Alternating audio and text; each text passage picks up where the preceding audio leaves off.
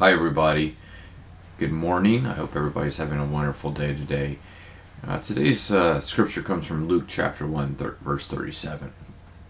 And this is the voice of Mary speaking to the angel. For no word from God will ever fail. Boy, wouldn't you love to live your life like that? Knowing for sure that whatever God says, it's going to be completed. Well, let me explain. See, I, I, I think that the world is kind of like one big drama, if you will. Very metaphoric.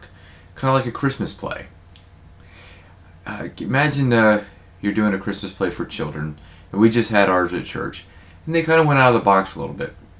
It was a story of Jesus, but it wasn't the nativity scene. It wasn't necessarily the the old uh, drama that we've seen so many times in the past. It had a lot of little quirks, and it was cute. The kids laughed. Sometimes the kids didn't even know why they were funny. They were funny, but that's just kind of how it was, and everyone had a bit role in it.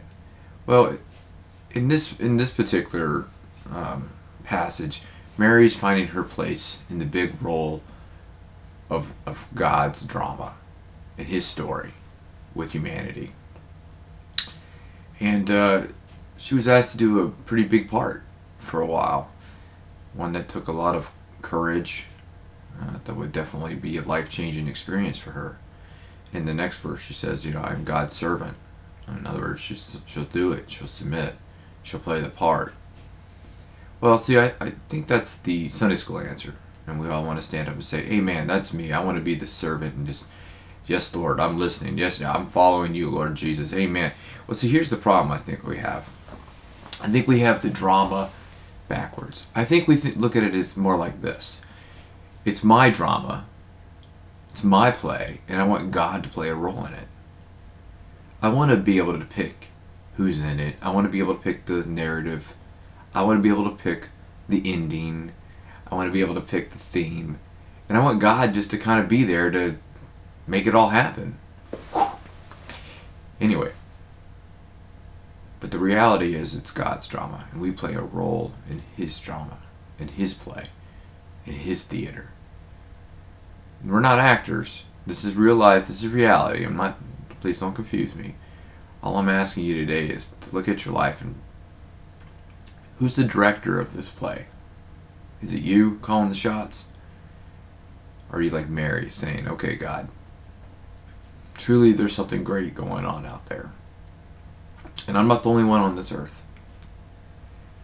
But I want to be a part of it. Even if it's a bit role.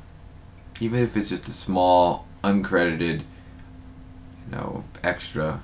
I want to be a part of it. And that's what God's looking for in us. Just to say, Yes, Lord, your servant is listening. Yes, Lord, I'll, I'm your servant. I will follow you. Well, I hope you uh, contemplate this for a while today. Let the Holy Spirit touch your soul. And, uh, you know, Christmas is right down the corner. It's your last weekend. So if you've done Christmas shopping, I have one request. Do not go shopping this weekend, please. There's enough mayhem going on out there already. So just stay home. Uh, it's supposed to be warm here in Georgia, like 70. I tell you to light some fires. But anyway, have a nice weekend. One more day, and uh, you're going to make the weekend all right. God bless y'all. See you tomorrow.